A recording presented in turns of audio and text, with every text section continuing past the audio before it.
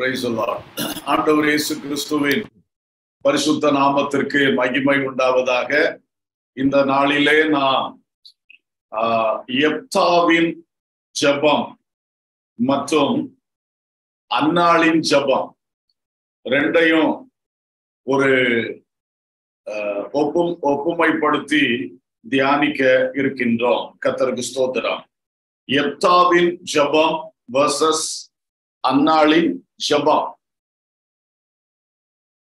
எப்தாவுடைய ஜெபத்தை நாம் பார்க்கும் பொழுது நியாயாதிபதிகளின் புஸ்தகம் பதினொன்றாவது அதிகாரம் முப்பது முப்பத்தி ஒன்று ஆகிய வசனங்களில் நாம் பார்க்க முடியும். நியாயாதிபதிகள் பதினொன்று முப்பது முப்பத்தி ஒன்று. கர்த்தருக்கு ஸ்தோத்திரம். அப்பொழுது எப்தா கர்த்தருக்கு ஒரு பொருத்தனையை பண்ணி தேவரீர் அம்மோன் புத்திரரை என் கையில் ஒப்பு கொடுக்கவே ஒப்பு கொடுத்தார் நான் அம்மோன் புத்திரரிடத்திலிருந்து சமாதானத்தோட திரும்பி வரும்போது என் வீட்டு வாசற்படியிலிருந்து எனக்கு எதிர்கொண்டு வருவது எதுவோ அது கர்த்தருக்கு உரியதாகும். அதை சர்வாங்க தகன பலியாக செலுத்துவேன் என்றார். கர்த்தருக்கு ஸ்தோத்திரம். இந்த எப்தா என்கிற மனிதன் அவனுடைய தகப்பனுக்கு பிறந்த பிள்ளைகளில் ஆஹ், சற்று ஆஹ், வித்தியாசமானவன். மற்ற பிள்ளைகள்லாம் அந்த ஒரு தாய்க்கு பிறந்திருக்க இவன் வந்து பரஸ்திரியின் குமாரன் என்று சொல்லப்பட்டிருக்கிறது. கத்தருக்கு ஸ்தோத்திரம். அப்ப அந்த தாய்க்கு பிறக்காதபடி கொஞ்சம் வித்தியாசமான ஒரு சூழ்நிலை அந்த பிறப்பு. அதனால இவன் வளரும் பொழுது அந்த இவனோடு இவனுடைய சகோதரர்கள் இவனை பரிகாசம் பண்ணி இவனை வேதனைப்படுத்தி அவனுடைய பிறப்பு நிமித்தம் அப்படியெல்லாம் செய்து கடைசியில் இவன் அவர்களை விட்டு தூர போய்விட்டான். ஆனால் அம்மோனியர்கள் வந்து பயங்கரமாக இவர்களை கஷ்டப்படுத்தி கொண்டிருக்கும் பொழுது இந்த எப்தாவுடைய சகோதரர்கள் எல்லாரும் சேர்ந்து இந்த அஹ், எப்தாவை தேடி சென்றார்கள். தேடி சென்று நீ எங்- எங்களுக்கு தலைவனாக வா. எங்களுடைய யுத்தங்களை நீ முன்னின்று நடத்து. இந்த அம்மோனியர் கையிலிருந்து நாங்கள் விடுவிக்கப்பட வேண்டும். என்று சொல்லி அவனை வேண்டிக் கொண்டார்கள். அப்ப அப்படி வேண்டுதல் வந்த பொழுது இவன் முதலாவது ஆஹ், நீங்க இப்படிலாம் செஞ்சு என்னை விரட்டிட்டீங்களேலாம் சொன்னான் ஆனா பிறகு ஏற்றுக்கொண்டான். ஏற்றுக்கொண்டு ஆஹ், இவன் வந்து முதலாவது அந்த அம்மோனிய ராஜாவுக்கு நியாயங்களை எடுத்து சொல்லி அனுப்பினான். வீணா நீர் வந்து எங்கள் இடத்தில் யுத்தத்துக்கு வர வேண்டாம். நீர் பிடிக்க நினைக்கிற இடங்கள் அது உண்மையில எங்களுடைய இடங்கள். நாங்கள் உங்கள்கிட்ட இருந்து பிடித்தெடுத்ததல்ல அது வந்து நியாயப்படி எங்களுக்கு வர வேண்டியதுதான் வந்திருக்கு என்று நியாயத்தை எடுத்துரைத்தான் ஆனால் அம்மோனிய ராஜா அதை கேட்கிறாப்புல இல்ல. அப்பொழுது யுத்தம் நிச்சயம் என்பதை அவன் உறுதிப்படுத்தி கொண்டான். உடனே அவன் மிஸ்பா என்கிற இடத்துக்கு போய் அங்கே தேவனிடத்தில் ஒரு ஜெபம் பண்ணினான். அந்த ஜபத்தை தான் நான் வாசித்தேன். அது ஒரு பொருத்தனையின் ஜெபம். பொருத்தனை என்ன பொருத்தனை? நான் அம்- எ- தேவரீர் அம்மோன் புத்திரரை என் கையில் ஒப்பு கொடுக்கவே ஒப்பு கொடுத்தால் அந்த யுத்தம் ஜெயித்து நான் என்னோட வீட்டுக்கு வரும்போது என் வீட்டு வாசப்படியிலிருந்து எது இறங்கி வருகிறதோ அதை அப்படியே உமக்கு சர்வாங்க தகன பலியாக செலுத்துவேன் என்று ஒரு பொருத்தனையை செய்து கொண்டார். இந்த பொருத்தனையை ஆண்டவர் அங்கீகரித்து அப்படியே யுத்தம் ஜெயிக்க செய்தார். யுத்தம் ஜெயித்து விட்டது. ஜெயித்து விட்டு இவன் வீட்டுக்கு வருகிறான். வீட்டுக்கு வரும்பொழுது இவனுடைய எதிர்பார்ப்பு என்ன? ஒரு ஆட்டுக்குட்டியோ ஏதோ ஒன்று. என்னோட எனக்கு முன்பாக வீட்டுல இருந்து இறங்கி வரும்.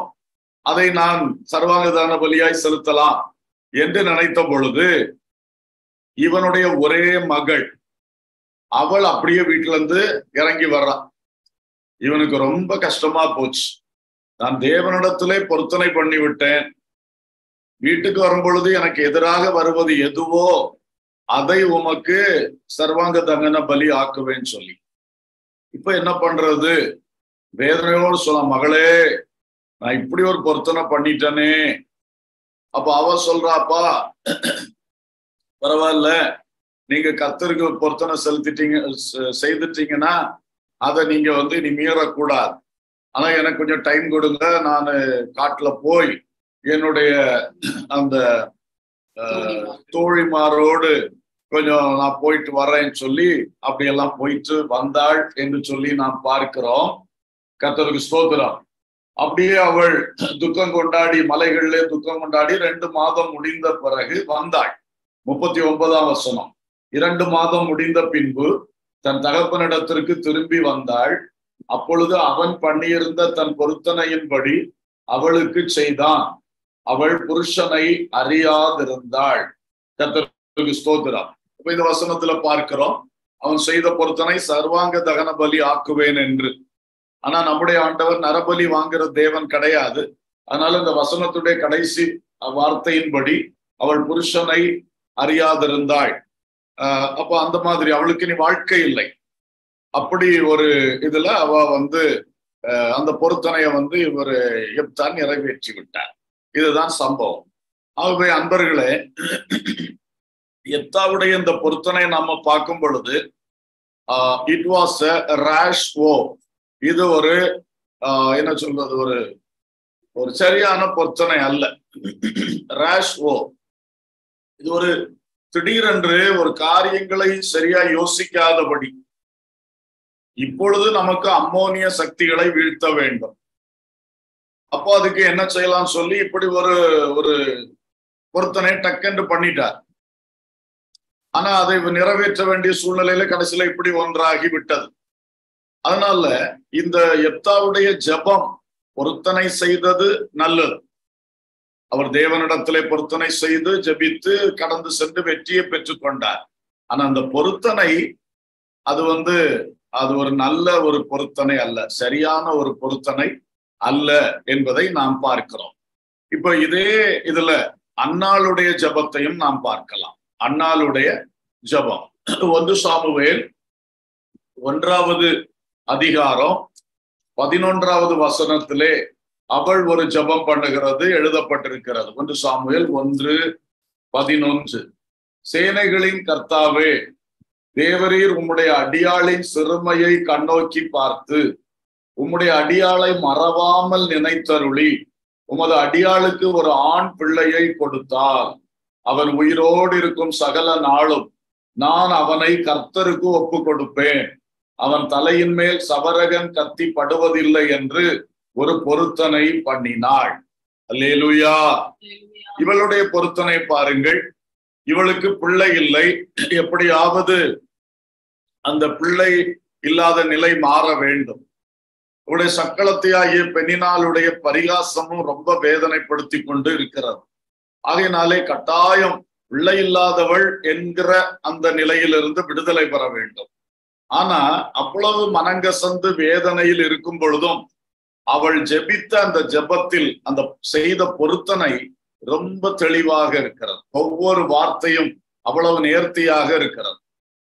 ஆகவே அவள் அவசரப்பட்டு ஏதோ ஒரு பொருத்தனையை செய்து விடாமல் அந்த நேரத்திலே தெளிவான ஒரு பொருத்தனை. அவளுடைய சிந்தனையை பாருங்கள். அவள் சொல்லுகிறாள் ஆஹ் என் உமது அடியாளுக்கு ஒரு ஆண் பிள்ளையை கொடும். ஆண் பிள்ளையை கொடுத்தால் அவனை நான் என்னாலும் உமக்கென்று ஒப்பு கொடுத்து விடுவேன். ஏன்னா அந்த நாட்களிலே பெண்களுக்கு ஊழியத்தில் பங்கு இல்லை ஆண்களுக்கு தான் ஊழியத்தில் பங்கு. ஆனபடினா ரொம்ப கிளியரா கேட்கிறான். அண்டவரை எனக்கு ஒரு ஆண் பிள்ளையை தார். நான் அந்த பிள்ளையை உங்க ஊழியத்திலே உமக்கென்று ஒப்பு கொடுத்து விடுகிறேன். இன்னொன்று இந்த பிள்ளைய என் மடியில வச்சு வளர்க்கணும். அப்படி கூட அவ விரும்பல. நான் பிள்ளையற்றவள் என்கிற பெயர் நீங்கணும். அதனால தெளிவா பேசுறா. ஒரு ஒரு பிள்ளைய நான் பெற்றெடுக்கணும். அந்த பிள்ளைய நான் உங்களுக்கே தந்துடுறேன். ஊழியத்துக்கே தந்துடுறேன். அப்போ இந்த நிந்தை மாறிவிடும்.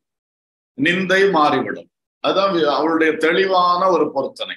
அவ இருந்த சூழ்நிலைக்கும் அவளுக்கு என்ன விடுதலை தேவை அதுல கரெக்டா அவ ஒரு பொருத்தனைய பண்ணான் அடுத்து அந்த பொருத்தனை ஆண்டவர் அங்கீகரித்து அவளுடைய பயத்தின் வெறுமையை மாற்றினதோடு கூட அந்த தேசத்தில் அன்றைக்கு தலைவன் இல்லாத ஒரு பெரிய பெருமை அதையும் இவ வயிற்றுல இருந்து பிறந்த அந்த சாமுவேலை கொண்டு கர்த்தர் நிரப்பினார். அல்லேலூயா. அப்ப அந்த பொருத்தனையோட எஃபெக்ட் எவ்வளவு விசேஷமா இருக்குது. அது தேவனுடைய கிரியைக்கு ஏற்றதாக இருக்கிறது. தேசத்தின் தேவையை சந்திக்கக்கூடியதாக இருக்கிறது. அதோடு அவள் வாழ்வில் இருந்த நிந்தையும் நீங்கி வரும் காலத்திலே அவள் ஒரு பெரிய தீர்க்கதரிசியின் தாயாக மாபெரும் தலைவனின் தாயாக ஒரு ஆசாரியனின் தாயாக ஒரு பெரிய ஒரு தேவ மனிதனுடைய தாயாக ஒரு நியாயாதிபதியின் தாயாக விளங்கினார். சாமுவேல் பெரிய ஜட்ஜாக இருந்தார் நியாயாதிபதியா இருந்தார். பெரிய தலைவன் லீடராக இருந்தார். பெரிய தீர்க்கதரிசி ப்ராஃபட்டாக இருந்தார். அவர் ஆசாரிய ஊழியத்தையும் செய்தார் பலிகள்லாம் செலுத்தினார். ஒரு பிரீஸ்டாக இருந்தார். அதோடு கூட தேவ மனிதன் என்று பெயர் பெற்ற ஒரு சாட்சி உள்ள மனிதனாக தெய்வீக மனிதனாக காணப்பட்டார். இவ்வளவு ஒரு பெரிய கேரக்டர் உள்ள ஒரு ஒரு மனிதனை உருவாக்க அந்த பொருத்தனை அது எவ்வளவு பெரிய பிரயோஜனமாக இருந்தது. ஆகவே இந்த ரெண்டு பொருத்தனைகளையும் நாம் பார்த்தோம். இன்றைக்கு அன்பானவர்களே ஜபத்திலே பொருத்தனை என்கிற ஒரு விஷயம் நல்லதுதான். ஆனால் அது சரியான பொருத்தனையாக இருக்க வேண்டியது மிக அவசியம். ஒரு கஷ்ட காலத்திலே திடீர்னு வாயில் வந்தபடி கையில் கிடைத்தபடி ஒரு பொருத்தனைய செய்து கொண்டு பிறகு எப்தா திரு திருன்னு விழிச்ச மாதிரி விழித்து கொண்டு இருக்க வேண்டிய நிலை வரவே கூடாது. பைபிள்ல ஆஹ் இந்த பொருத்தனையை பற்றி சொல்லும் பொழுது பொருத்தனை செய்வது கட்டாயம் அல்ல. நீங்க பைபிள் முழுசும் படிச்சு பார்த்தீங்கன்னா பொருத்தனை பழைய ஏற்பாட்டிலும் சரி எப்பவும் சரி. பொருத்தனை செய்வது கட்டாயம் அல்ல. ஆனால் செய்த பொருத்தனையை நிறைவேற்ற வேண்டியது கட்டாயம். இதுதான் அந்த பொருத்தனை பற்றி நாம் அறிந்து கொள்ள வேண்டிய ஒரு விஷயம். நீ கண்டிப்பாக பொருத்தனை செய்துதான் பொருத்தனை செய்தாதான் கர்த்தர் உனக்கு செய்வார். அப்படி கிடையாது. கட்டாயம் அல்ல. ஆனால் நீ ஒரு வேதனையில் இக்கட்டு துன்பத்தில் நெருக்கத்தில் ஒரு பொருத்தனை செய்யணும்னா செய்தால் கண்டிப்பா அதை நிறைவேற்றி ஆகணும். ஆஹ் உபாகம புஸ்தகம் இருபத்தி மூன்றாம் அதிகாரத்திலே இருபத்தி ஒன்றாம் வசனத்திலிருந்து இருபத்தி மூன்று வரைக்கும் வாசிக்கும் பொழுது தயவாய் கவனியுங்கள். நீ உன் தேவனாகிய கர்த்தருக்கு பொருத்தனை பண்ணி இருந்தால் அதை செலுத்த தாமதம் செய்யாதே. உன் தேவனாகிய கர்த்தர் அதை நிச்சயமாய் உன் கையில் கேட்பார். அது உனக்கு பாவமாகும். நீ பொருத்தனை பண்ணாதிருந்தால் உன்மேல் பாவம் இல்லை. உன் வாயினால் சொன்னதை நிறைவேற்ற வேண்டும். உன் தேவனாகிய கர்த்தருக்கு உன் வாயினால் நீ பொருத்தனை பண்ணி சொன்ன உற்சாக பலியை செலுத்தி தீர்ப்பாயாக. இப்ப பழைய ஏற்பாட்டுல நியாயப்பிரமாணத்துல தெளிவா சொல்லி இருக்கு அதுல நீ கட்டாயம் பொருத்தனை செய்யணும்னு வரல. ஆனால் நீ பொருத்தனை செய்தால் அதை நீ நிறைவேற்ற தவறக்கூடாது. அதை கர்த்தர் உன்னிடத்தில் கேட்பார். நீ பொருத்தனை செஞ்சுட்டு அதை நிறைவேற்றாம போனா அது உனக்கு பாவமாக கருதப்படும். பொருத்தனை செய்யாம இருந்தா அவனுக்கு பாவம் கிடையாது. ஏன் பொருத்தனை செய்யல? அப்படி ஆண்டவர் கேட்கவும் மாட்டாரு. உன்னை பாவ பாவத்துக்கு நீ பொருத்தனை செய்யாதனால பாவின்னு சொல்ல மாட்டார். ஆனால் பொருத்தனை செய்தால் கண்டிப்பாக அதை நிறைவேற்ற வேண்டும்.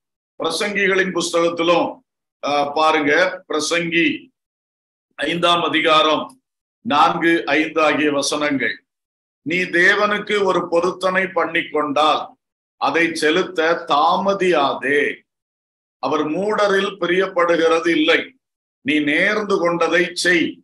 நீ நேர்ந்து கொண்டதை செய்யாமற் போவதை பார்க்கிலும் நேர்ந்து கொள்ளாதிருப்பதே நலம். அங்க தவறாதேன்னு சொல்லியிருக்கு இங்க தாமதியாதேன்னு சொல்லி. நீ பொருத்தனை செய்தால் அதை தவறவும் கூடாது.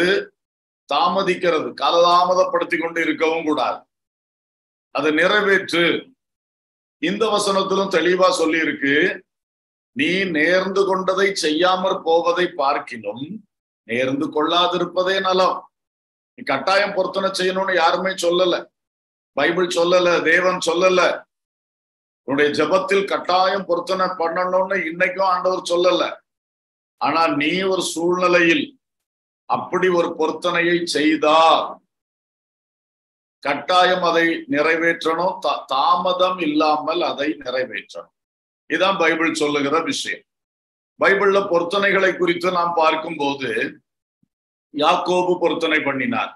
ஆண்டவரே நீங்க தந்த அந்த வாக்கு தத்துவத்தின்படி அந்த சொப்பனத்துல ஏணி சொப்பனத்துல நீங்க தந்த வாக்கு தத்தத்தின்படி எனக்கு செய்தால் ஆஹ், இந்த கல் உமக்கு வீடாக மாறும். என்னுடைய சம்பாத்தியத்தெல்லாம் உமக்கு தசோபான் செலுத்துவேன் என்று பொருத்தனை செய்து கொண்டான் பொருத்தனை அது யாக்கோபு செய்த பொருத்தனை.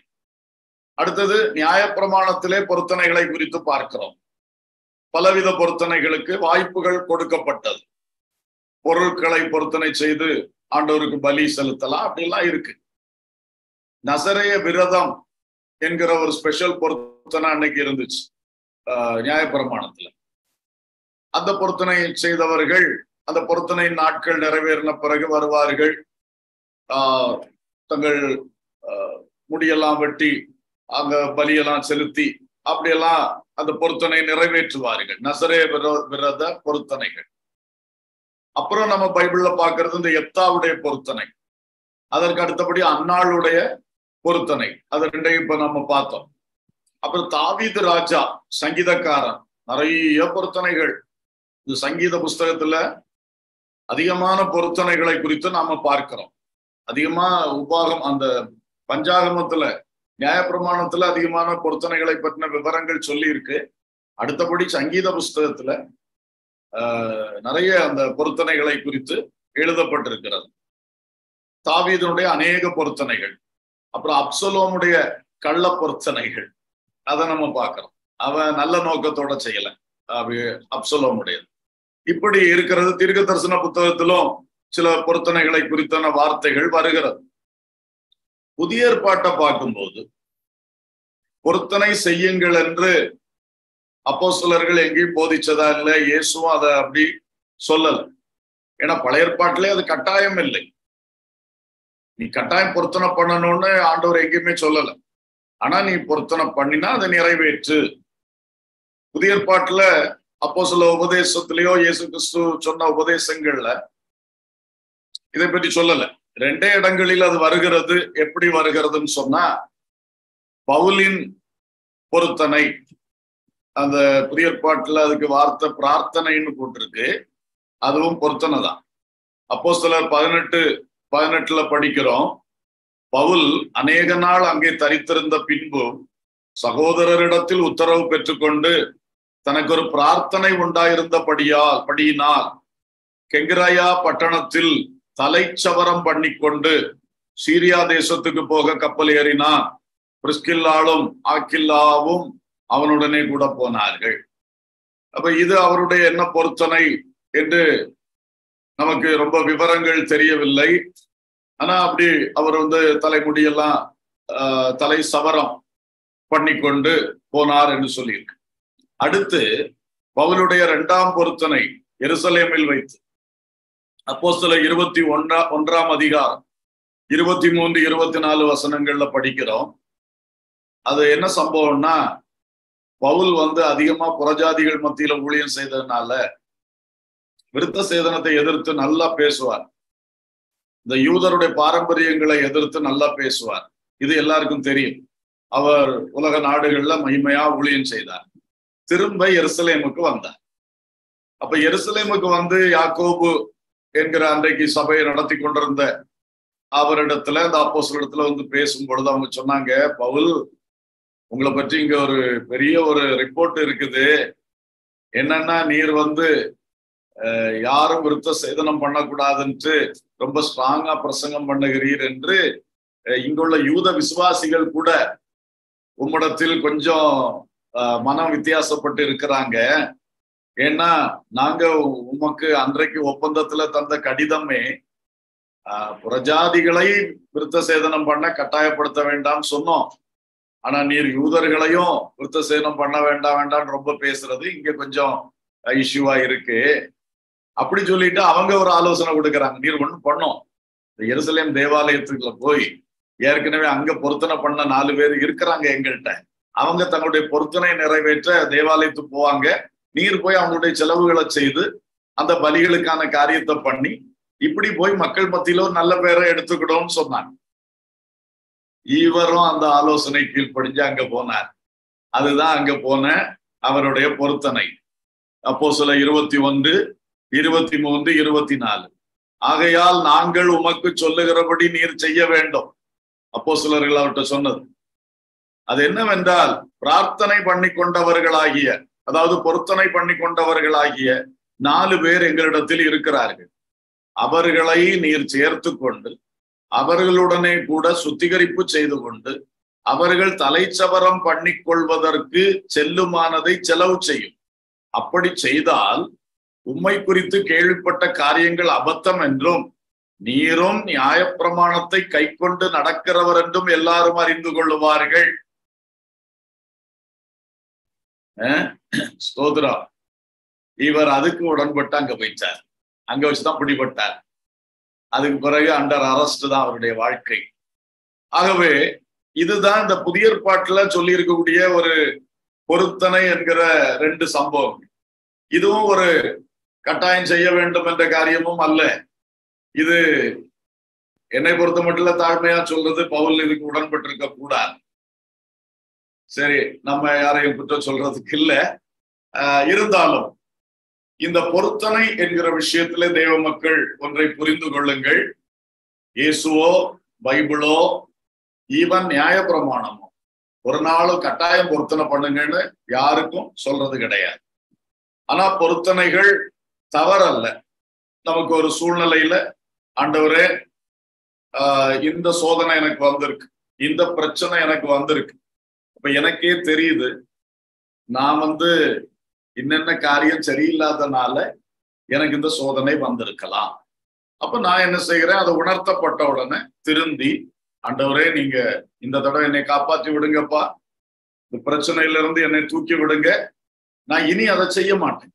அல்ல இன்னென்ன காரியத்தை இப்படி இப்படி செய்வேன் என்று நல்ல அந்நாள் செய்தது மாதிரி தெளிவா பரிசுத்த ஆவியின் ஏவுதலோடு நல்லா செய்தா தப்பு கிடையாது. இப்போ உதாரணமாக நம்ம ஜப வாழ்க்கை கொஞ்சம் மங்கி போச்சு. இப்ப திடீர்னு பாக்குறோம் நிறைய ப்ராப்ளம்ஸ் எழும்பியாச்சு. அப்ப நமக்கு ஒரு உணர்வு வருது. ஐயோ நான் கொஞ்சம் காலங்களுக்கு முன்னாடி நல்லா ப்ரேயர் பண்ணிட்டு இருந்தேனே. இப்போ அந்த ப்ரேயர் குறைஞ்சது. இப்ப எனக்கு வாழ்க்கையில நிறைய போராட்டங்கள் பிரச்சனைகள். அப்ப நம்ம ஒரு நல்ல பொருத்தனை செய்யலாமே. ஆண்டவரே இந்த இக்கட்டுல இருந்து என்னைய காப்பாற்றி விடுங்க. நான் முன்னை போல அந்த பிரேயரை பண்ணுவேன் ஆண்டவரே. இது நல்ல பொருத்தனை தானே. கத்தருக்கு ஸ்தோத்திரம். முடியாத ஒரு பெரிய காரியத்தை எப்தா சொன்ன மாதிரி எதையாவது சொல்லிடுறாரு அப்படி சொல்லாரு அதே மாதிரி சிலர் செய்யறத பார்த்திருக்கேன். ஆண்டவரே காய்ச்சலை குணமாக்கும். நூத்தி ஒரு ரூபாய் காணிக்க வைப்பேன். அது அந்த காலத்துல உள்ள இந்த காலத்துல உள்ள ஆயிரத்தி ஒரு ரூபாய் காணிக்க வைப்பேன்னு சொல்லுவார்களோ தெரியல. ஆஹ் இப்ப நான் ரொம்ப அது கேட்கவும் இல்லை முந்தி கேட்டிருக்கேன் இந்த மாதிரி சாட்சிகள். காய்ச்சலை குணமாக்கும் நூத்தி ஒரு ரூபாய் காணிக்க வைப்பு டாக்டர் ஃபீஸ் கொடுக்குற மாதிரி கர்த்தரு கொடுப்பார்கள் போல இருக்கு. அதெல்லாம் ஒரு பெரிய விசேஷம் அல்ல. ஆண்டவரே காய்ச்சலை குணமாக்கும். உமக்காக சாட்சியா வாழ்வேன். அதெல்லாம் நல்ல பொருத்தனை அல்லவா? கத்தருக்கு ஸ்தோத்திரம். ஆமா. ஆனா அதையும் நான் ரொம்ப இது சொல்லல. சிலருக்கு இன்னைக்கு டாக்டர் ஃபீஸே எவ்வளவு லட்சங்கள்ல போகுது. ஆண்டவர் இயேசு இலவசமா சுகத்தை கொடுத்தா சரியப்பா நான் இந்த இலவச சுகம் நீங்க தராட்டா? டாக்டர்கிட்ட போய் லட்சக்கணக்கா நான் கட்டியிருப்பேன். அந்த இதை உங்களுக்கு தாரேன். சொல்றது தப்பு கிடையாது. ஆனா இந்த எப்தா மாதிரி ரேஷ் ஓஸ் பண்ணிடாதீங்க ஒரு மீனிங்லெஸ்ஸா ஏதாவது பண்ணாதீங்க. அர்த்தமில்லாத பொருத்தனைகளை பண்ணிக்கிட்டு சும்மா ஏதோ ஆண்டவரை வந்து ஏதோ காசு வாங்கிட்டு சுகம் தர்றவர் மாதிரி அப்படியெல்லாம் நீங்க ஆக்காதீங்க கொஞ்சம் விவேகமா ஞானமா கர்த்தரை கனம் பண்ணி நல்ல பொருத்தனைகள் நாம் செய்வது நல்லது. அல்லேலூயா. ராத்திரியே தூக்கம் வர மாட்டேங்கி அப்படி யாராவது இருக்கீங்களா? படுத்தா தூக்கமே இல்லை. ஆண்டவரே நான் அடுத்த மாசம் விழிப்பு ஜோகத்துல போய் கரெக்டா இருப்பேன்னு சொல்லி என்ன பண்ணுங்க? இன்னைக்கு தீர்மானம் பண்ணுங்க. இதெல்லாம் நல்ல பொருத்தனைகள். வீட்டுல உறக்கம் வரல பேசாம சர்ச்சில் போயிருந்து என்ன பண்ணுங்க? விழித்திருந்து ஜோம் பண்ணுங்க. அடுத்த நாளே நல்ல தூக்கம் வரும் உங்களுக்கு. கத்தருக்கு ஸ்தோத்திரம். இப்படிப்பட்ட நல்ல காரியங்களை நாம செய்யலாம். சாப்பாட்டு வழி இல்லாம ஆயிப்போச்சே. திடீர்னு பெரிய நெருக்க ஆயிப்போச்சே. ஆண்டவரே இனி வாரம் ஒரு தடவை உபவாசம் பண்ணு. ஓ சாப்பாட்டுக்கே வழி இல்லாத நிலைமை இதுல இருந்து தூக்கி எடுங்கப்பா. இனி வீக்லி ஒன்ஸ் உபவாசம் பண்ணி நான் ஜோம் ஏன்னா இந்த பசி உள்ளவங்களுக்கு நீங்க எனக்கு எனக்கு பசியாற்றுங்க நான் இந்த பசி உள்ளவங்களுக்கு நானும் பகர்ந்து கொடுப்பேன். நல்ல தீர்மானங்கள் அல்லவா? இப்படி நல்ல காரியத்துக்காக அதுவும் நல்லா யோசித்து தெளிவா தீர்மானம் பண்ணுங்க. முடியாத காரியத்தை எப்படியாவது இதுல இருந்து காப்பாற்றப்படணும்னு சொல்லிட்டு முடியாத காரியத்தை என்னதோ ஒரு காரியத்தை அறியாத புரியாத விஷயங்களை எல்லாம் பொருத்தனன்னு சொல்லிட்டு சிக்கி கொள்ளாதிருங்கள் அல்லேலூயா. எனவே கர்த்தர் நமக்கு கிருபை செய்வாராக. இன்றைக்கு ஒரே மேட்டர் தான். பொருத்தனையின் ஜெபம். ஆனா இது கட்டாயம் கிடையாது என்று பைபிள்ல நம்ம தெளிவா படிக்கிறோம். ஆனால் யாராவது இதுக்கு முன்னாடி பொருத்தனை பண்ணியிருந்தீங்கன்னா தவறாதீங்க அதை செலுத்த தவறாதீங்க. இனி தாமதிக்காதீங்க.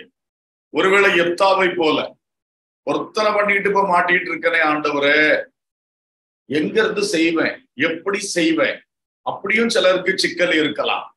அப்படி இருந்தாலும் நம்முடைய தேவன் கிருபை உள்ள தேவன் நம்முடைய தேவன் நம்முடைய சூழ்நிலையை புரிந்து கொள்ளுகிற தேவன் அவர்கிட்ட கேளுங்க. அவர்கிட்ட கேளுங்க. அவர் ஒரு வழியை சொல்லுங்க. அதை செய்யுங்க. அதை கண்டுக்கிடாம நீங்க விட்டீங்கன்னா உங்க மேல அது தவறா மாறும். நீ வாய் திறந்து மனுஷனிடத்தில் அல்ல தேவனிடத்தில் பேசினாய். தேவனிடத்தில் பொருத்தனை செய்தாய். அப்புறம் லேசா கண்டுக்கிடாம விட்டுருவோம். ஆண்டவர் மறந்துடுவாரு மறக்க முடியாது. ஆண்டவர் மறக்க மாட்டார். அதனால அப்படி ஒன்று இருந்தா அத ஒரு கிளியரன்ஸ் ஆகணும். அது உள்ள ஸ்டாக் வைக்காதீங்க. அந்த விஷயத்த. ஓப்பனா ஆண்டவர்கிட்ட பேசுங்க. அப்பா அந்த வருஷம் அல்லது இப்ப சமீபத்துல. இந்த மாதிரி ஒரு கஷ்ட காலத்துல நான் ஒரு பொருத்தனை பண்ணினேன். இப்ப எனக்கு அதை செய்யக்கூடிய எந்த திராணியும் இல்ல ஆண்டவரே. அப்ப நான் என்ன செய்யணும்ப்பா? என்னுடைய அந்த அவசரத்துல நான் பண்ணிட்டேன் என்ன மன்னிங்க. எனக்கு ஒரு வழியை சொல்லுங்கன்னா ஆண்டவர் ஒரு வழியை சொல்லுவார். அவர் இல்ல நீ இல்லாததை போய் செய்யன்னு கட்டாயப்படுத்திட்டு இருப்பாரா? நான் நிச்சயமா நினைக்கிறேன் அப்படி ஆண்டவர் என்ன செய்ய முடியாதுல்ல. இல்லாததை எப்படி செய்யறது? எப்தாவுக்கு கூட ஒரு வழி இருந்தது அல்லவா நம்ம பிள்ளை பாதிக்கப்பட்டா ஆனா அந்த வழி அவளும் அதுக்கு ஒப்பு கொடுத்தா. அப்பா சரி. எனக்கு இனி வாழ்வு வேண்டாம். நான் புருஷனை அறியாதவளாகவே இருக்கிறேன். ஆகவே அன்பானவர்களே ஒருவேளை அப்படி யாரா இருந்தா இன்னைக்கு ராத்திரி இந்த பிரேயர்ல நீங்க அதை விஷே விசேஷமா அதை ஆண்டவர்கிட்ட வச்சு ஜோம் பண்ணுங்க. நீங்க அதை சும்மா விடாதீங்க. அது சரியில்லைன்னா வசனம் அப்படி சொல்லுகிறது. நீ பொருத்தன நீ நேர்ந்து கொண்டதை செய்யாமற் போவதை பார்க்கிலும் செய்யாதிருப்பதே நலம். கத்தர் கிருபை செய்வாராக. நீங்கள் தாழ்த்தி ஜெபம் பண்ணா நிச்சயமா ஆண்டவர் அந்த கட்டிலிருந்து விடுதலை செய்து விடுவார். அப்புறம் நீங்க ஃப்ரீயா வாழலாம். கத்தர் உங்களை ஆசீர்வதிப்பாராக. இப்பொழுது நாம் எல்லாரும் சேர்ந்து தேவ சமூகத்தில் இந்த விஷயத்துக்காகவும் இன்னும் சில காரியங்களுக்காகவும் நாம் ஜெபிக்க ஆயத்தமாவோம். பிரைஸ் தல்லான் பொருத்தனைகள் துதி பலிகள் பணிவுடன் செலுத்தி ஜெபித்திடுவே. ஒரு தனைகள் துதி பலிகள் கருத்துடன் செலுத்தி ஜெபித்திடுவே. ஆபத்து காலத்தில் கூப்பிடுவே. ஆண்டவரே செவி கொடுப்பார். ஆபத்து காலத்தில் கூப்பிடுவே. ஆண்டவரே. செவி நாம் இந்த வேளையிலே தேவ சமூகத்தில் ஜெபம் பண்ண போகிறோம். கர்த்தருக்கு ஸ்தோத்திரம் உண்டாவதாக. ஹalleluya. பிதாவே நல்ல தகப்பனே. இதோ நாங்கள் ஏகோபித்து உம்முடைய திருமுகத்தை நோக்கி பார்க்கிறோம் அப்பா.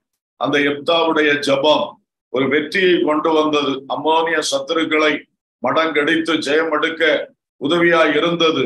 ஆனால் அவன் செய்த பொருத்தனை அது அவனை கடைசியில் கஷ்டப்படுத்தி விட்டதப்பா. ஆண்டவரே இந்த காரியத்தை நாங்கள் வாசிக்கும் வாசித்து தியானித்த பொழுதே அந்நாள் என்கிற அந்த மகளுடைய ஆஹ், பொருத்தனை குறித்தும் நாங்கள் தியானித்தோம். எவ்வளவோ தெளிவான அருமையான ஒரு பொருத்தனையாக காணப்பட்டது. அதை கரெக்டாக அவள் நிறைவேற்றினாள். அதனால் அந்த சாமுவேல் அங்க அவங்க குடும்பத்திற்கு மட்டுமல்ல முழு தேசத்துக்கும் ஆசீர்வாதமாக காணப்பட்டான் என் தேவனே இந்த காரியத்திலே ஜபத்துல இருக்கிற எங்கள் ஒவ்வொருவருடைய விஷயத்திலே. அப்பா ஒருவேளை நாங்கள் ஏற்கனவே செய்த பொருத்தனைகளுக்காய் முதலாவது ஜெபிக்கிறோம். யார் யார் ஏற்கனவே செய்து கொண்ட பொருத்தனைகளை நிறைவேற்ற முடியாமல் இருக்கின்றார்கள். ஆண்டவர் அவர்களுக்கு இரக்கம் செய்யும்படியாய் ஜெபிக்கிறோம். ஆண்டவரே நிறைவேற்ற முடியவில்லை என்று சொல்லி அதை உம்மிடத்தில் வந்து பேசி ஜெபித்து ஒரு மன்னிப்பை பெற்று ஒரு அதை கிளியர் பண்ணி கொள்ளாதபடிக்கு அதை கண்டும் காணாமலும் யார் வாழ்ந்து கொண்டிருக்கிறார்கள்? அவர்களுக்கு இன்றைக்கு ஒரு நல்ல உணர்வை கொடுத்து கர்த்தரிடத்தில் பேசினர் அல்லவா? அதை மறுபடியும் கர்த்தரிடத்தில் பேசி அதற்கு ஒரு தீர்வை காணும்படியாக ஒரு போகும் வழியை காணும்படியாக என் தேவன் ஒவ்வொருவருக்கும் கிருபை செய்யும்படியாய் ஜெபிக்கிறோம். அது மறந்து போயிருந்தால் கூட நீர் நினைப்பூட்டி அதற்கு ஒரு கிளியரன்ஸ் உண்டாகும்படியாக என் தேவனாகிய கத்தர் கிருபை செய்யும்படியாய் வேண்டிக் கொள்ளுகிறோம்ப்பா. பரிசுத்த ஆவியானவர் எங்களை நடத்தி கொண்டிருக்கிறீர். எனவே நாங்கள் பொருத்தனை செய்து ஏதாவது நிறைவேற்றாமல் போனது கர்த்தருக்கு முன்பாக அது எங்கள் வாழ்வை ஆசிர்வதிப்பதற்கு முன்னோக்கி செல்வதற்கு ஒரு தடையாக இருக்கும் என்றால் கண்டிப்பாக உணர்த்தி தரும்படியாக நாங்கள் ஜெபிக்கிறோம். அந்த பொருத்தனை நிறைவேற்ற எங்களுக்கு பலன் தாரும். அண்டவரே அல்லது அதற்கு ஒரு போகும் வழி என்ன என்று சொல்லி எங்களுக்கு வெளிப்படுத்தி தாரும். கர்த்தர் அந்த காரியத்தில் எங்களை ஒரு கிருபை நிமித்தம் வழி நடத்தும்படியாய் ஜெபிக்கிறோம்ப்பா. இப்படிப்பட்ட கட்டுகளும் எங்கள் வாழ்வில் இராதபடிக்கு அந்த கட்டுகளை எங்களை விட்டு நீர் இன்றைக்கு அகற்றும்படியாக வேண்டிக் கொள்ளுகிறோம் நாதா. பரிசுத்த ஆவியானவரே எங்கள் மேல் அசைவாடுங்க. எங்கள் மேல் அசைவாடுங்க. இன்னைக்கு இதிலே ஒரு நல்ல தெளிவும் விடுதலையும் உண்டாகும்படியாய் என் தேவன் கிருபை செய்யும்படியாக வேண்டிக் கொள்ளுகிறோம் ஐயா. கிருபை செய்யும்படியாக நாங்கள் வேண்டிக் கொள்ளுகிறோம் ஐயா. என் தேவனே உமக்கு ஸ்தோத்திரம் ஸ்தோத்திரம் ஸ்தோத்திரம் ஸ்தோத்திரம் ஸ்தோத்திரம் அப்பா. அது மட்டுமல்ல ஆண்டவரே சில காரியங்களில் நல்ல பொருத்தனைகள் செய்து எங்களுடைய ஆவிக்குரிய ஜீவியம் முன்னேற்றம் அடைவதற்கு வாழ்க்கையில் இயேசுவுக்காக நாங்கள் செயல்படுகிற அனுபவங்கள் மேன்மை அடைவதற்கு அதுவும் விவேகத்தோடு தெளிவாக நல்ல தீர்மானங்களை பொருத்தனைகளாக செய்து கொள்ள எங்களுக்கு உதவி செய்யும்படியாய் ஜெபிக்கிறோம் தகப்பனே. ஆமேன். எங்கள் ஜெப வாழ்க்கை ஆசீர்வதிக்கப்பட. எங்கள் ஆவிக்குரிய ஜீவியத்திலே ஆண்டவரே நல்ல நல்ல காரியங்கள் உண்டாக கர்த்தர் கிரியை செய்யும்படியாய் ஜெபிக்கிறோம். பரிசுத்த ஆவியானவர் அசைவாடும். பரிசுத்த ஆவியானவர் எங்களுக்கு கற்று தாரும். எங்களை வழி நடத்தும் வழி நடத்தும் வழி நடத்தும். ஹாலே லூயா ஹாலே லூயா அப்படி அன்னாள் செய்து கொண்டது போல அப்பா ஸ்தோத்திரம் புத்திர பாக்கியம் இல்லாதவர்கள் அப்படிப்பட்ட நல்ல பொருத்தனை செய்து கொள்ள கர்த்தர் வழி நடத்தும்படியாய் ஜெபிக்கிறோம் அப்பா ஆமேன். என் என்னுடைய வெறுமையை நீர் மாற்றும். ஆனால் அந்த பிள்ளையை என் மடியிலே வைத்திருக்கணும் கூட நான் விரும்பவில்லை. முழுவதுமாய் அந்த பிள்ளை உமது ஊழியத்திற்கு நான் அர்ப்பணித்து விடுவேன் என்று சொல்லுகிற அந்த நல்ல தீர்மானத்தை செய்ய ஆண்டவர் வழி நடத்தும்படியாய் ஜெபிக்கிறோம். கர்த்தர் வழி நடத்தும்படியாய் ஜெபிக்கிறோம். ஆமேன்.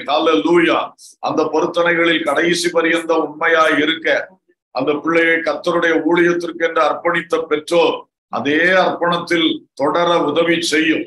அதே நேரம் அந்த பிள்ளையை கர்த்தர் நேரடியாய் அழைக்கும் பொழுது அந்த பிள்ளையுடைய அழைப்பை பெற்று கத்தருடைய ஊழியத்துக்கு வரும். அதுதானே உங்களுடைய ஒழுங்கு. ஆண்டவரே அதையும் நாங்கள் புரிந்து கொள்ளுகிறோம். நாங்கள் புஷ் பண்ணி நான் தீர்மானித்து விட்டேன். நான் பொருத்தனை செஞ்சுட்டேன். அதனால நீ ஊழியத்துக்கு போ என்று நாங்கள் பிடித்து தள்ள முடியாது. கர்த்தருடைய அழைப்பு வேண்டும். ஆமேன். அது கர்த்தருடைய பகுதியாக இருக்கிறது. ஆனால் எங்களுடைய உள்ளத்திலே யார் யார் அப்படி பொருத்தனை செய்திருக்கிறோமோ ஒருபோதும் அதை விட்டு வலதுபுற இடதுபுற சாயாதபடி அதையே ஜபமாய் வைத்து அதையே சிந்தையாய் வைத்து நாங்கள் காணப்பட ஒவ்வொரு பெற்றோருக்கும் உதவி செய்யும்படியாய் ஜெபிக்கிறோம் தகப்பனே. உதவி செய்யும்படியாய் ஜெபிக்கிறோம் அப்பா. ஒரு காலத்திலே ஸ்காட்லாந்து தேசத்திலே போதகர்கள் தங்களுடைய ஆஹ் தங்களுடைய சபைகளில் எல்லா தாய்மாரும் என் வயிற்றில் பிறக்கிற பிள்ளையில் ஒரு பிள்ளை மிஷினரியாய் போக வேண்டும் என்று ஜெபிக்க வேண்டும் என்று சொல்லுவார்களாமே. அப்படி அநேக தாய்மார்கள் ஜெபித்தார்களாம் அதனால் ஒரு கட்டத்திலே ஸ்காட்லாந்து இங்கிலாந்து தேசங்களில் இருந்து பல தேசங்களுக்கு தீவுகளுக்கு தீவாந்தரங்களுக்கு அநேக மிஷினரிகள் புறப்பட்டு போனார்கள் என்று ஒரு சரித்திரத்தை நாங்கள் படிக்கிறோம்ப்பா.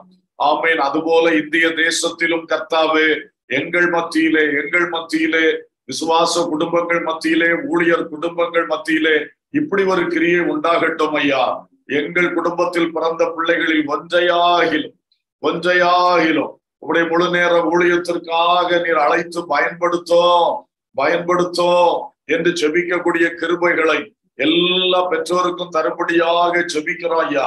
கர்த்தர் கிருபை செய்யும் ஐயா. கர்த்தர் கிருபை செய்யும் ஐயா.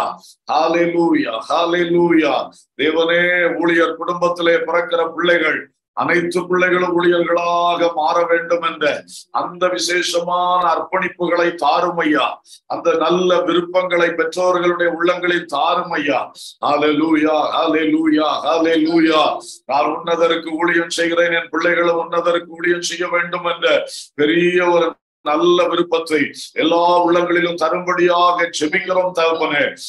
Hallelujah praise the Lord praise the Lord இந்த வேளையில் குறிப்பாக மறுபடியும் பிள்ளை இல்லாம கஷ்டப்படுகிற ஒவ்வொருவரை நினைத்து உங்க பாதத்துல ஜெபிக்கிறோம். உத்தரவாக்கியத்துக்காக ஜெபித்துக் கொண்டிருக்கிற ஒவ்வொருவரும் அந்நாளை போல நல்ல பொருத்தனை செய்து கொள்ளும்படியாய் அந்நாளை போல நல்ல பொருத்தனை செய்து அந்த பொருத்தனையில் கடைசி மட்டும் உறுதியாய் நிலைத்திருக்கும்படியாய் என் அன்பு தகப்பன் உதவி செய்யும்படியாய் வேண்டிக் கொள்ளுகிறோம் கர்த்தாவே.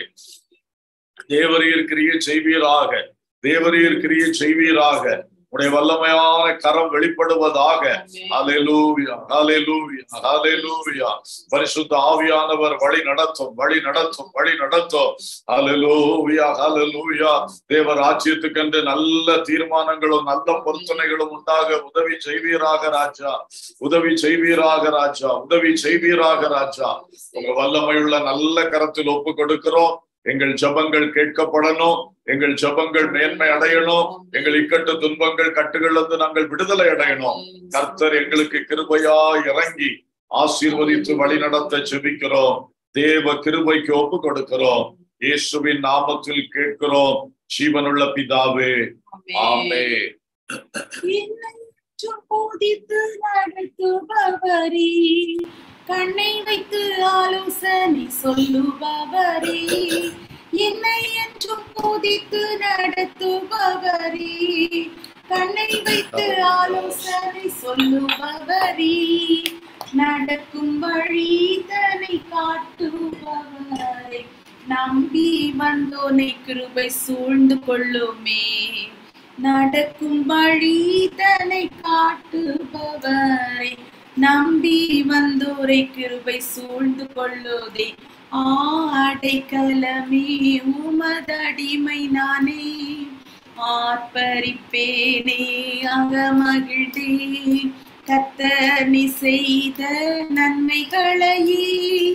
நித்தம் நித்தம் நான் நினைப்பேனே. ஆடைக்கலமே உமதடிமை நானே.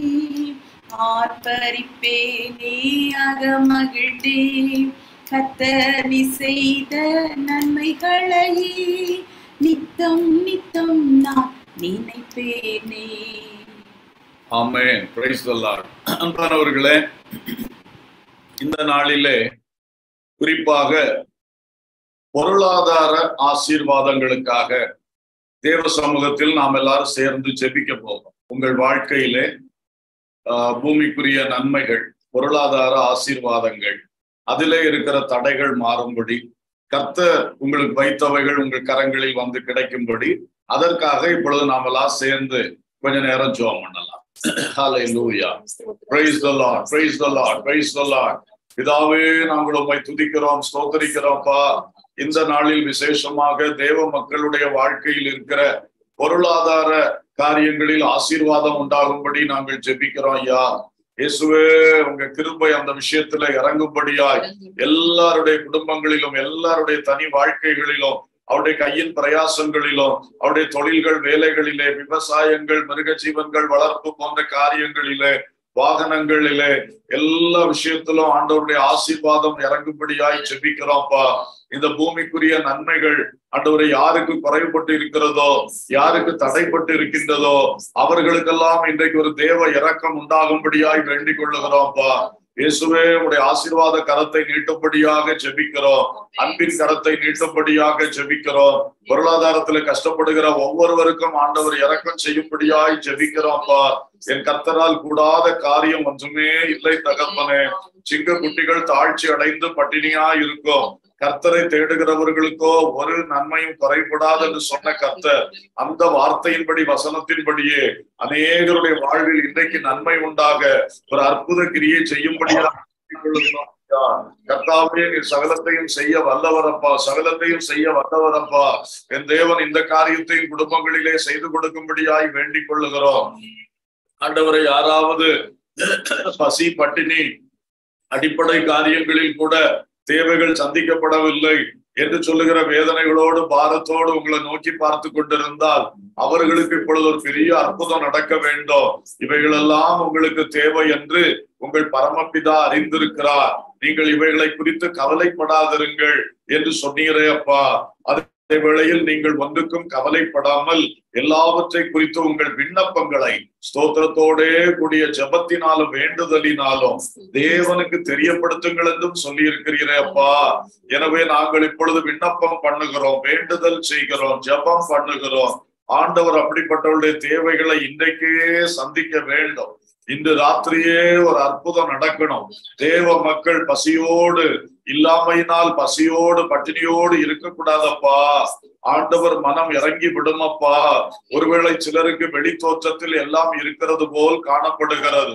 ஆனால் பயங்கர கடன்களின் நிமித்தம் அல்லது வேறு பல சிக்கல்களின் நிமித்தம் வெளியே நான் இருக்கிறது போல் தெரிந்தாலும் உள்ளே பட்டினிகள் பசிகள் பலவித வேதனைகள். இப்படி யாருடைய குடும்பம் அஹ், சிக்கலுக்குள்ளே கடந்து போய் கொண்டிருக்கிறதோ அப்பா நாங்க அதை பார்க்கவில்லை. எங்களால் அறிய முடிகிறது இல்லை ஆனால் கர்த்தர் எல்லாம் பார்க்கிற தேவன் அப்பா. அப்படி எந்த குடும்பத்துக்குள் வேதனையோடு தவித்துக் கொண்டிருக்கிறார்களோ இயேசுவே அந்த வீட்டிலே கர்த்தருடைய ஒரு ஆசீர்வாதம் இன்றைக்கு இறங்க வேண்டும். அந்த வீட்டிலே இன்றைக்கு இயேசு கிறிஸ்துடைய ஒரு அற்புதம் நடக்க வேண்டும். இன்று இரவே அவருடைய தேவைகள் சந்திக்கப்படத்தக்கதாக. ஒரு மாபெரும் அற்புதத்தை கர்த்தர் செய்ய வேண்டும் என்று செபிக்கிறோம் தகப்பனே. கர்த்தர் சந்தியும் அப்பா கர்த்தர் சந்தியும் அப்பா. ஆண்டவரே ஸ்தோத்திரம். பிள்ளைகளுடைய படிப்பு விஷயமாக ஆஹ், பணம் இல்லாதனால ஃபீஸ் கட்ட முடியவில்லை. ஹாஸ்டல் ஃபீஸ் கொடுக்க முடியல புக்ஸ் வாங்க முடியல யூனிஃபார்ம் வாங்க முடியல பிள்ளைகளுக்கு ஒரு செருப்பு போன்ற விஷயங்கள் வாங்க முடியல பேக் வாங்கி கொடுக்க முடியல. இப்படியெல்லாம் வேதனையோடு துன்பத்தோடு கஷ்டத்தோடு இருக்கக்கூடிய எல்லா பெற்றோரை நீர் நினைத்து இறக்கம் செய்ய வேண்டும் என்று கெஞ்சுகிறோம் தகப்பனே. ஒரு அற்புத வாசலை அவர்களுக்கு திறந்து கொடுங்கப்பா. அவர்களுக்கு திறந்து கொடுங்கப்பா. அந்த பிள்ளையோட முகத்தை கத்தர் கண்ணோக்கி பாருங்கப்பா.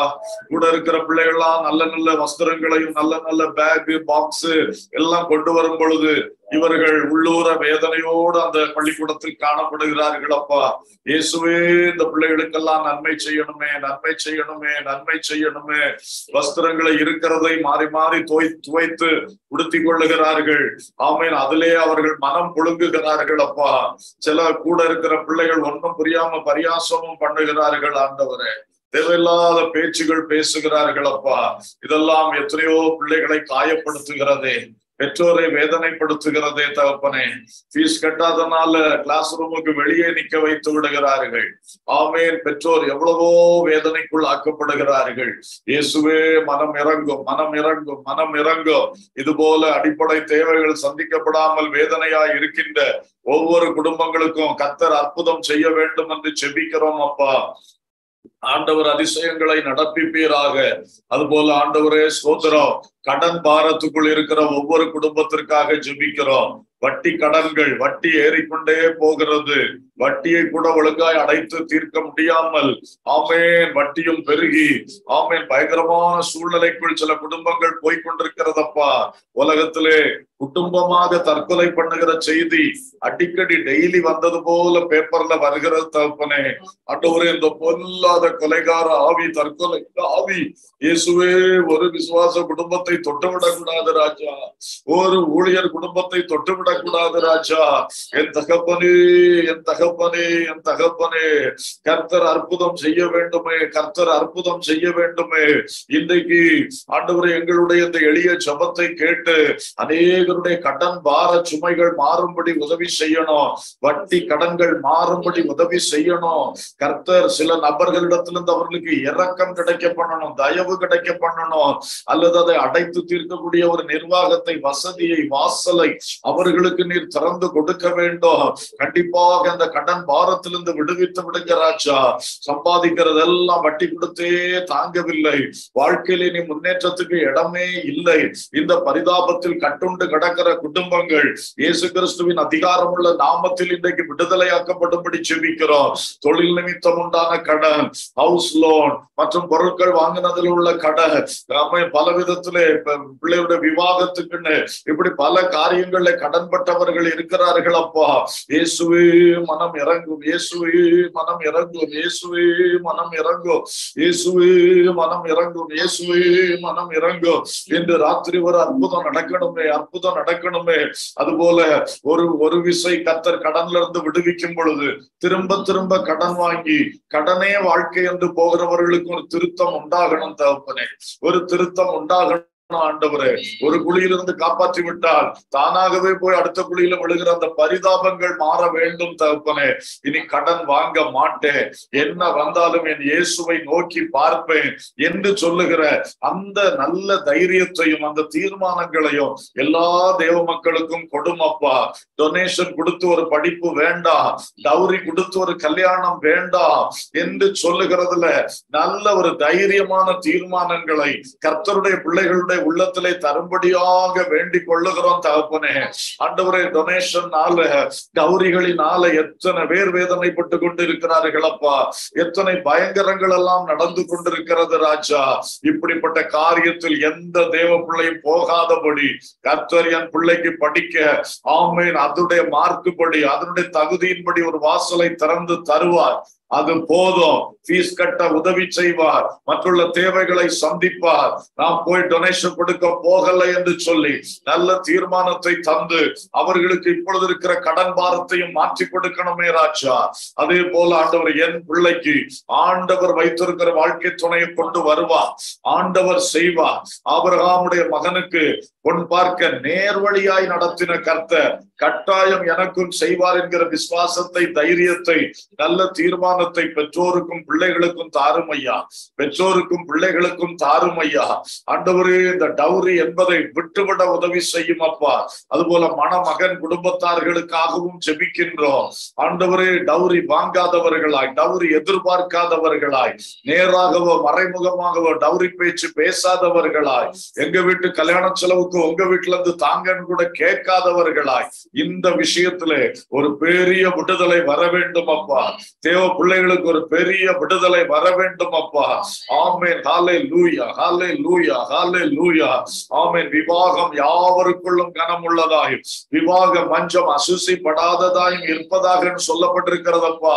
ஆமேன். ஸ்தோத்திரம் ஸ்தோத்திரம் அப்பா. அதிலே உறுதி உள்ளவர்களா இருந்து பண ஆசை இல்லாமல் கர்த்தர் எனக்கு சகாயர் என்று சொல்லக்கூடிய ஒரு தைரியத்தை எல்லாருக்கும் தாரும் ஆண்டவரே. அந்த எபிரேர்ல எழுதியிருக்கிற அந்த வார்த்தையின்படியே ஆமேன். ஸ்தோத்திரம் ஸ்தோத்திரம். கல்யாண விஷயத்துல பண ஆசைக்கு இடம் இல்லாதபடி பண ஆசைக்கு இடம் இல்லாதபடி ஆமேன் ஆமேன். கர்த்தர் எனக்கு சகாயர் என்று சொல்லக்கூடிய அந்த அனுபவம் எல்லாருக்கும் வரும்படியாய் செபிக்கிறோம் என் தேவனே எப்படியாயும் குறைகளை எல்லாம் மன்னித்து இறங்கி எந்த தவறுனாலும் மன்னித்து இறங்கி மன்னித்து இறங்கி சிலர் ஆண்டவரை போட்டி நிமித்தமாக அடுத்த வீட்டுல அது வாங்கிட்டாங்க எங்க வீட்டுலயும் வாங்கணும்னு சொல்லி இப்படி எல்லாம் ஆசை நிமித்தம் போட்டி நிமித்தம் ஈகோவி நிமித்தம் எத்தனையோ பேர் கடன்பட்டு இருக்கிறார்கள் அப்பா நானும் ஒருகை பார்ப்பேன் என்று சொல்லி கடன்பட்டு நிற்கிறார்கள் அப்பா. இந்த தவறுகளையும் மன்னியும் என்று கெஞ்சுகிறோம். மன்னியும் என்று கெஞ்சுகிறோம்.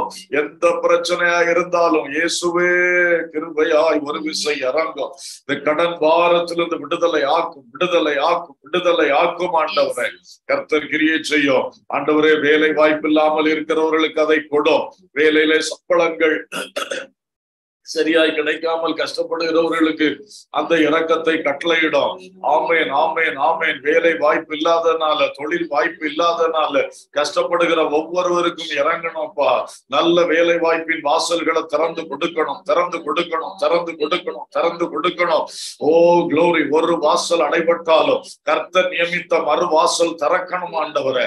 அற்புத வாசல் திறக்கணும் ஆண்டவரை. கர்த்தர் திறந்து விடும்படியாக நாங்கள் செபிக்கிறோம். தொழில் வாய்ப்புகள் அவைகள் யாருக்கு கொடுக்க சித்தமா இருக்கிறீரோ வாசல்களை திறந்து கொடுக்கும்படியாக நாங்கள் வேண்டிக் கொள்ளுகிறோம். விவசாயங்களை ஆசீர்வதித்து நல்ல விளைச்சல்களை கட்டளையிடும்படி செபிக்கிறோம் நல்ல விளைச்சல்களை கட்டளையிடும் மரம் செடி கொடிகள் பயிர் வகைகள் தோட்ட பயிர்கள் ஆண்டவரை எதிலையும் இந்த பூச்சி தொல்லைகள் மற்றும் உள்ள இயற்கை பேரிடர் தொல்லைகள் இவைகள் ஒன்றும் சேதப்படுத்தாதபடிக்கு அன்பின் ஆண்டவர் தேவ பிள்ளைகளுடைய விவசாயங்களை தோட்டங்களை ஆசீர்வதிக்கும்படி செபிக்கிறோம் நல்ல மகசூல் உண்டாகும்படியாக தேவன் கிருபை செய்யும் அப்பா. மிருக ஜீவன்களை வளர்த்து பறவை பட்சிகளை வளர்த்து அதனால் ஆதரிக்கப்படுகிறவர்கள் இருக்கிறார்கள். அவர்களுக்கும் நல்ல ஆசீர்வாதங்களை கொடுங்கப்பா நல்ல பலன்களை கொடுங்கப்பா. அவைகளுக்கு நோய் பிடித்து விடாதபடி திருட்டு போய் விடாதபடி வேற எந்த தீமைகள் வந்து விடாதபடி இயேசுவே காத்துக்கொள்ளும் காத்துக்கொள்ளும் காத்துக்கொள்ளும் என்று செபிக்கிறோம் தகப்பனே. அப்பா ஸ்தோத்திரம். கைத்தொழில்கள் செய்கிறவர்கள் ஆண்டவரை கையின் பிரயாசங்கள் ஈடுபடுகிறவர்கள் ஒவ்வொருவரையும் ஆசி ஆசீர்வதித்து ஆண்டவரே அற்புதங்கள் செய்வீராக அதிசயங்கள் செய்வீராக நாதா. அவருடைய அந்த பொருட்கள் நல்ல விலைக்கு போகத்தக்கதாய் நியாயமான நல்ல விலைக்கு போகத்தக்கதாய். ஆசீர்வதித்து நடத்தும்படி செபிக்கிறோம் நேர்மையான லாபம் கிடைக்கத்தக்கதாய். நேர்மையான ஆதாயம் நிறைவாய் கிடைக்கும்படியாய். உதவி செய்யும் உதவி செய்யும் உதவி செய்யும். லஞ்சம் ஊழல் போன்றவைகளில் யார் ஈடுபட்டிருக்கிறார்களோ அவர்கள் முற்றிலும் அதை விட்டு திருந்தும்படியாய். அந்த வேதனை உள்ள ஆசீர்வாதத்தை பெற்று வேதனைப்படாதபடிக்கு ஆமை கர்த்தருடைய தயவை இழந்து போகாதபடிக்கு தேவ கோபத்துக்குள் ஆளாகாதபடிக்கு அவைகளை எல்லாம் விட்டு விலகி கர்த்தரை நோக்கி பார்த்து நேர்மையான வருமானங்களை பெற்றுக்கொள்ள ஆமேன் வேதனை இல்லாத ஐஸ்வர்யத்தை சம்பாதிக்க ஆண்டவர் கிருபை செய்து விடும்படியாய் வேண்டிக் கொள்ளுகிறோம் கர்த்தாவே. கைப்பாடாய் சம்பாதித்து அது கட்டி எழுப்பப்பட கர்த்தர் உதவி செய்யும்படியாய் செபிக்கிறோம் தகப்பனே. என் அருமை ஆண்டவர் இப்படிப்பட்ட சகல காரியங்களிலும் பொருளாதாரம் சம்பந்தப்பட்ட ஒவ்வொரு விஷயங்களிலும் கர்த்தர் அனுகிரகம் செய்யும். சம்பள குறைப்புகள் ஆண்டவரை யாக்கோபுக்கு உண்டானது போல லாபானுடைய இருதயம் உடைய எந்த எஜமான்களுக்கு கீழே எந்த நிறுவனங்களுக்கு கீழே வேலை பார்க்கிறார்களோ என் அருமை ஆண்டவருடைய ஒரு கிரியை அங்கே உண்டாகட்டும் ஐயா. அங்கே உண்டாகட்டும் ஐயா. அந்த நிறுவனங்கள் சம்பளங்களை ஒழுங்காய் கொடுப்பதாக அந்த எஜமான்கள் கூலிகளை ஒழுங்காய் கொடுப்பார்களாக. கர்த்தர் லாபானை எச்சரித்தது போல ஆமீன் தேவ மக்களுக்காக எச்சரித்து ஆண்டவரே காரியங்களை வாய்க்க பண்ணும்படி செபிக்கிறோம்ப்பா கர்த்தர் கிருபை செய்யுங்க. பெரிய ஆசீர்வாதங்கள் நன்மைகள் உண்டாகும்படியாய் என் தேவனாகிய கர்த்தர் ஒரு கிரியை நடப்பிக்க வேண்டும் என்று ஜெபிக்கிறோம் தாவனே ஒருவேளை நாங்கள் ஜெபிக்க தெரியாமல் விட்டிருந்த எந்த ஒரு விஷயங்கள் பொருளாதாரம் சம்பந்தப்பட்டு இருக்கின்றதோ அதாவது வர வேண்டிய பணங்கள் தடைபட்டு நிற்கிறது அரசாங்கத்திலிருந்து வர வேண்டியது வரல அரசாங்கத்துக்காக உழைத்தேன். ரிட்டையர்ட் ஆன பிறகு பெனிஃபிட்ஸ் கிடைக்கல. அதுக்காக பழையபடி எல்லா ஆபீஸுகள்ல போய் காவல் கிடக்க வேண்டியதா இருக்கிறதுன்னு வேதனையோடு இருக்கிறவர்கள். காலத்திலே அந்த பணம் கிடைத்தால் தானே பிரயோஜனப்படும். காலம் கடந்து கிடைத்தால் பிரயோஜனப்படாது. அன்பின் ஆண்டவர் அப்படிப்பட்ட தடைகளை நீக்கும். அந்த அதிகாரிகளுடைய உள்ளங்களில் தய கிடைக்கட்டும். அரசாங்கங்கள் சரியாய் செய்ய வேண்டியதை செய்யட்டும் அப்பா. ஆண்டவரே வேறு தனி மனிதர்களிடத்திலே யாருடைய பணங்கள் சிக்கி இருக்கிறதோ யார் தங்களுடைய பணத்தை கொடுத்து இப்ப ஏமாந்து இருக்கிறார்களோ ரெக்கார்டு இல்லாம கொடுத்து ஆஹ், உனக்கு பணம் என்னிடத்தில் இல்லை என்று துடிகரமாய் பேசிக் கொண்டிருக்கிறார்களோ இப்படிப்பட்ட எல்லா சிக்கல்ல இருந்து கர்த்தர் விடுவிக்கும்படியாய் ஜெபிக்கிறோம். கொடு என்றும் வைத்திராதே என்றும் கட்டளை கொடுக்கிற தேவன் அல்லவா? கொடு என்றும் வைத்திராதே என்றும் கட்டளை கொடுக்கிற தேவன் அல்லவா? அப்படிப்பட்ட கட்டளைகளை வெளிப்படுத்தி ஆசீர்வதிக்கும்படியாய் வேண்டிக் கொள்ளுகிறோம் தகப்பனே. தேவ கிருபைக்கு ஒப்பு கொடுக்கிறோம். எல்லாருக்கும் இந்த பொருளாதாரத்துக்கு குறுக்கே எந்த பிசாசு கிரியை செய்தோம் எந்த மந்திரவாத கிரியைகள் வந்து தடை பண்ணி கொண்டிருக்கிறதோ வருமானத்தின் வழிகளை தடுத்து கொண்டிருக்கிறதோ இயேசுவின் நாமத்தில் அந்த அந்தகார சக்திகள் அழிந்து போகும்படி செபிக்கிறோம். அழிந்து போகும்படி செபிக்கிறோம். கையில் வருகிறத எந்த பொல்லாத ஆவி ஊதி தள்ளுகிறதோ இயேசுவின் நாமத்தில் அந்த பொல்லாத ஆவிகளுடைய கிரியைகள் அழிக்கப்படும்படி செபிக்கிறோம். மருத்துவ செலவுகள் நிறுத்தப்படும்படி செபிக்கிறோம். வீண் செலவுகள் நிறுத்தப்படும்படி செபிக்கிறோம். ஆடம்பர செலவுகள் நாம நிறுத்தப்படும்படி செபிக்கிறோம். இயேசுவின் நாமத்தில் அவசர செலவுகள் நிறுத்தப்படும்படி செபிக்கிறோம் என் தேவனால் கூடும் எல்லாம் கூடும். அற்புதங்களை செய்யும்படியாய் வேண்டிக் கொள்ளுகிறோம். நல்ல கரத்தில் ஒப்பு கொடுக்கிறோம். இயேசுவின் நாமத்தில் பிதாவே ஆமே. அல்லேலூயா. Hallelujah.